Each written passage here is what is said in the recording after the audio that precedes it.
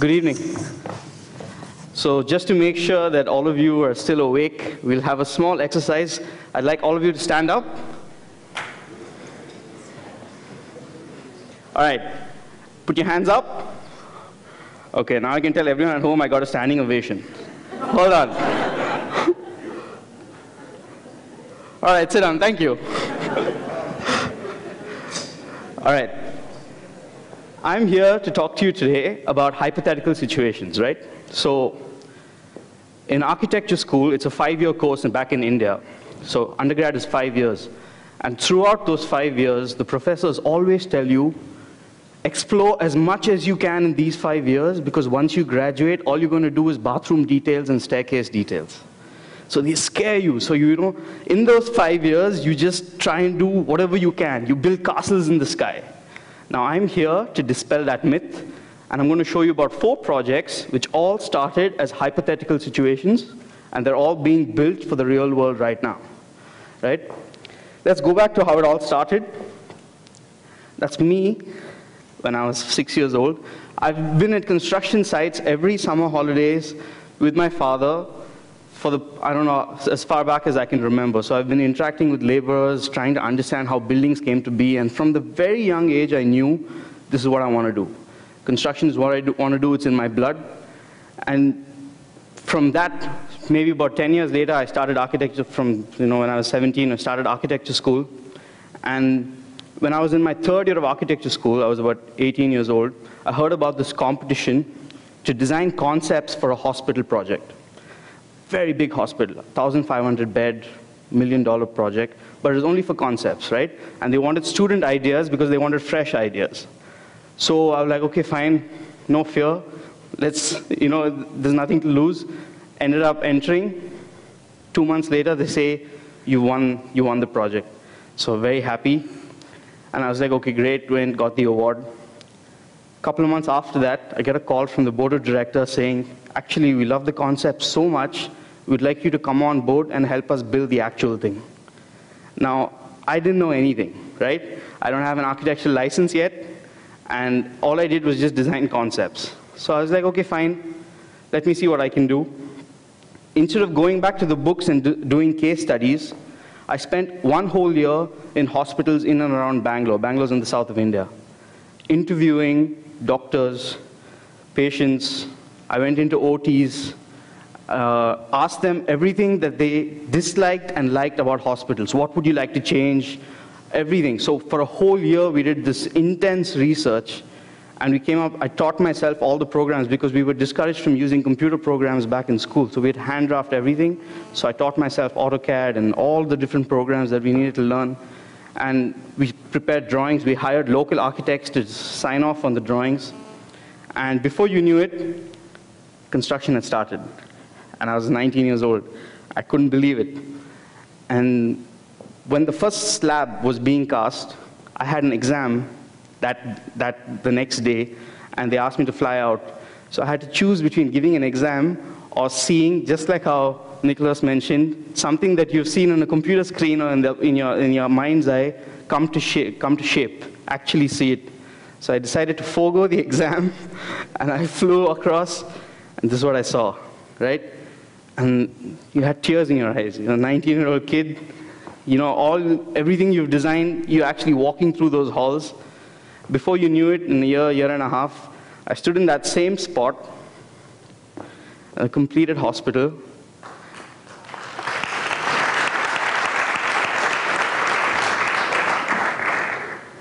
What was once this was a completed ICU, and then a couple of months later, we realized this was the first hospital in India that got international accreditation. The first hospital designed by a kid, didn't have an architectural license.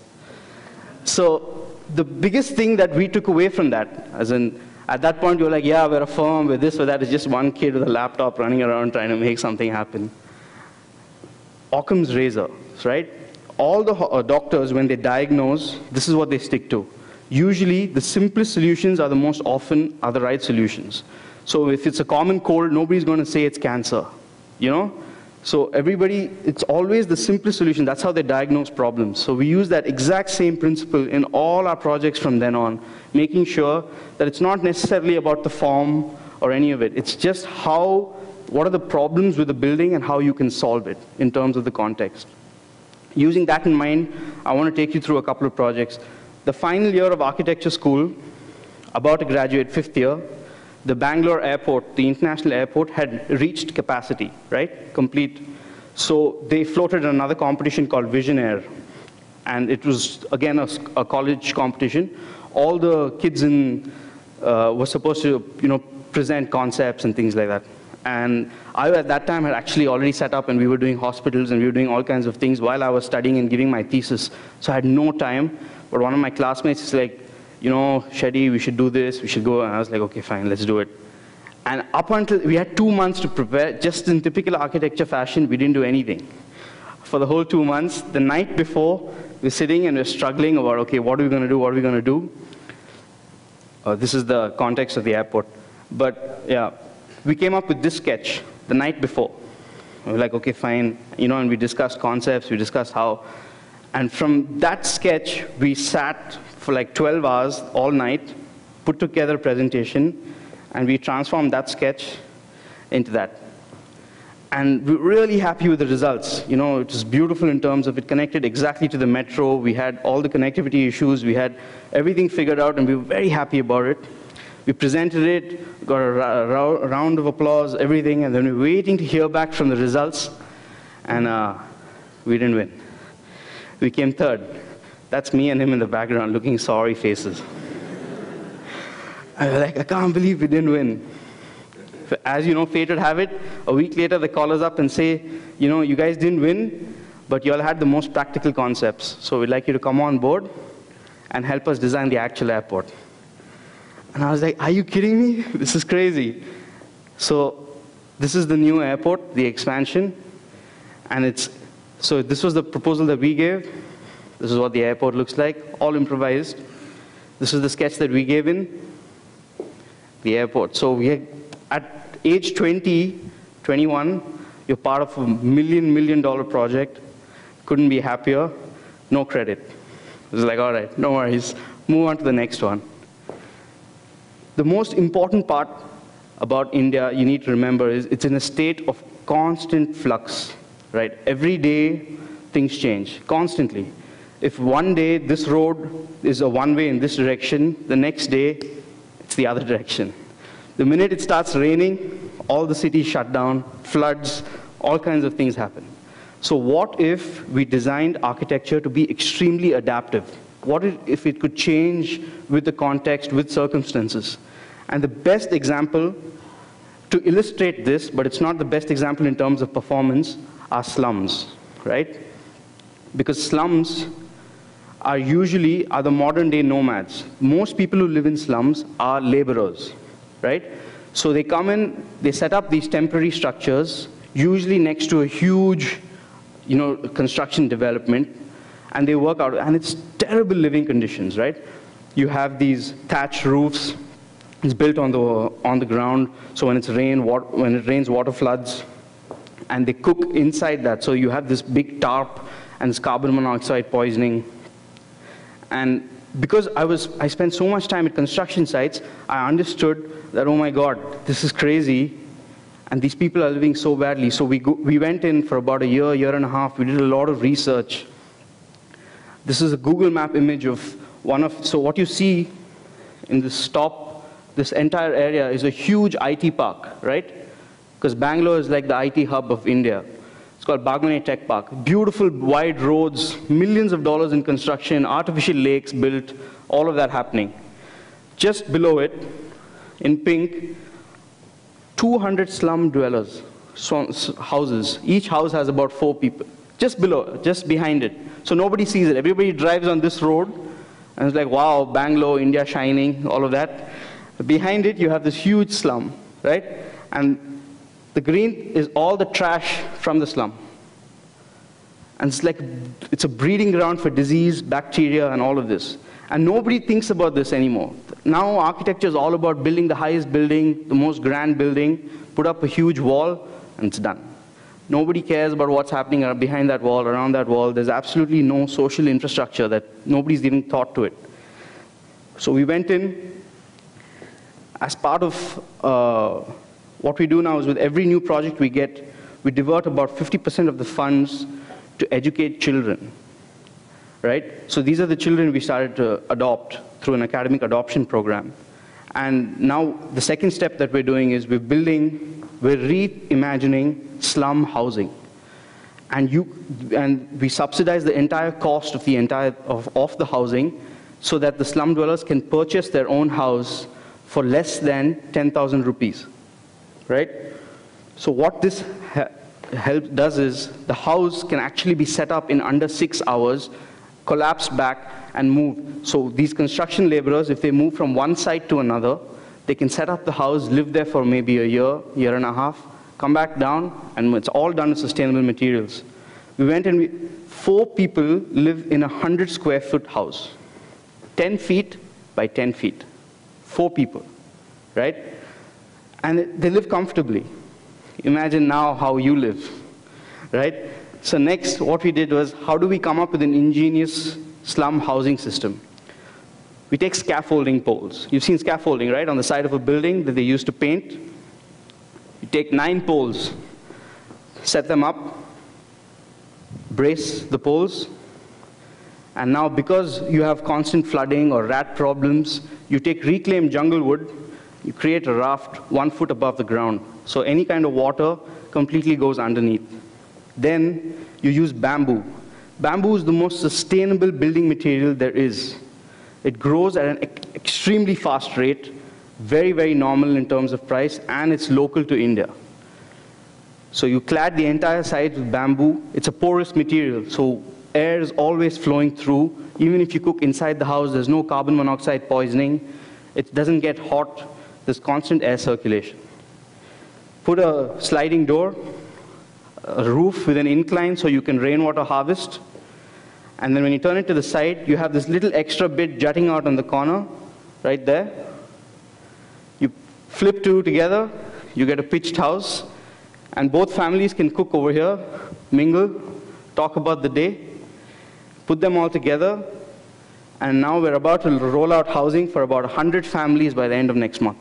We've got all the funding.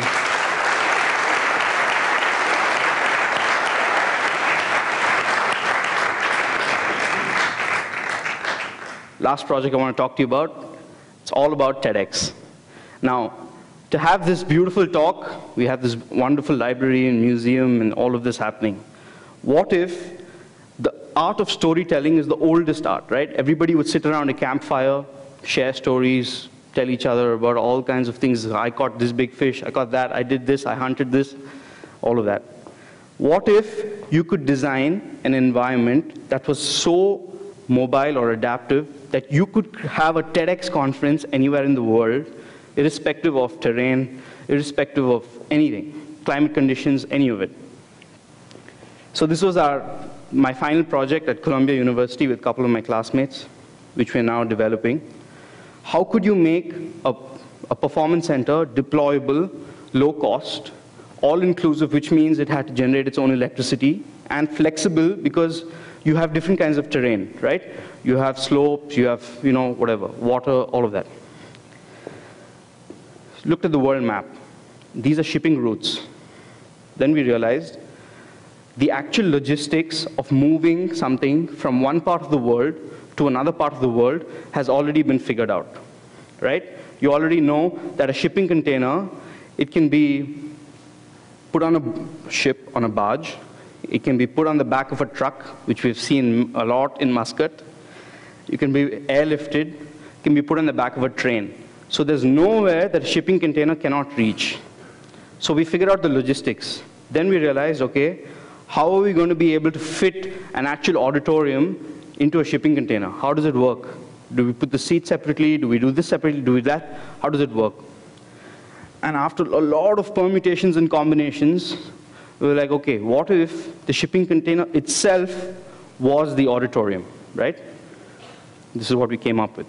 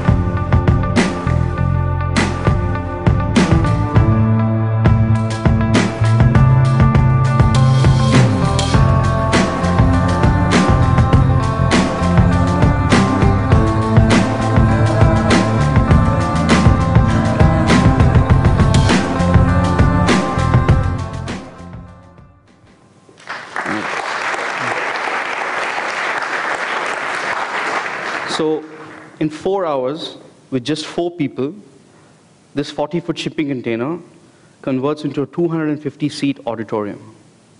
And it has a complete shade sail. So what the shade sail is, it's canvas with photovoltaic cells sewn in. We're working with the Army with photovoltaic cells sewn into the fabric. So it generates its own electricity, so it's completely off the grid. That means you can put it in the middle of the desert and have a TEDx conference. It'll, you know, it'll support your light, your visual, your camera, all of it.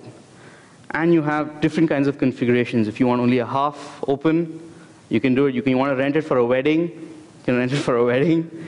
You know, you can put it anywhere you want. And the feedback has been, uh, we're just finishing up the prototype now. We're going to, you know, going on a world tour, you know, opening it in Copenhagen and London. The feedback has been so good that we've started, we're calling it the Black Box Theater. We're calling it now, we're working on a black box school and a black box clinic. And in India, the most, the largest network is the network of trains, right? So we have this concept where you have this clinic that's been put at the back of a train. It's dropped off at one village. You administer medical care. The next train comes, picks it up, keeps going. Right? So all of these, all of these concepts, every single one of them started off as just concepts. That's it.